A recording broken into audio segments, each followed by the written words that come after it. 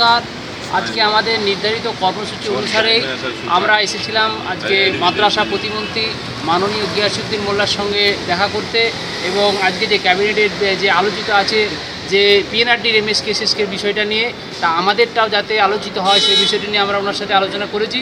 তবে উনি আজ খুব বেশি সময় না দিতে পারলেও উনি পিএর সাথে আমাদের কথা বলতে বলেন এবং আমরা দীর্ঘক্ষণ সমস্ত কিছু বিষয়টা নিয়ে আমাদের ক্লার্ক পিয়ন ফাজিল বা আরও অন্যান্য যে স্টাফ পেটার আছে অনার্সের এবং পাসের যে স্ল্যাবগুলো আছে এই অনুযায়ী এবং তার সঙ্গে যাতে ফাইভ পার্সেন্টটা ইনক্রিমেন্ট দিয়ে আমাদের বেতন বৃদ্ধিটা করা হয় এই সব কিছুটাই ওনার সাথে ডিটেলসে আলোচনা হয়েছে এবং উনি এই বিষয়টা আমাদের বলেন যে মাদ্রাসাগুলো পূর্বেই ক্যাবিনেটের সিদ্ধান্ত হয়ে আছে যে এগুলো পর্ষদে যাবে কিন্তু ইমপ্লিমেন্ট হচ্ছে না।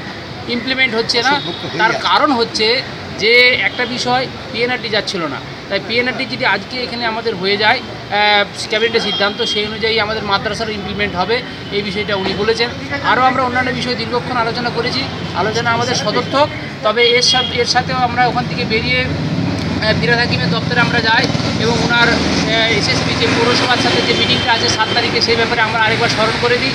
ওনারা আমাদের থেকে অ্যাক্টিভ আছেন এবং সাত তারিখে খুব সদর্থক মিটিং হবেন এবং সব কিছু বিষয় নিয়ে আলোচনা হবে, এইভাবে আমরা আছি। শিক্ষক ঐক্যভুক্ত আমরা কিন্তু কালেকটিভভাবে আমরা কাজ করছি।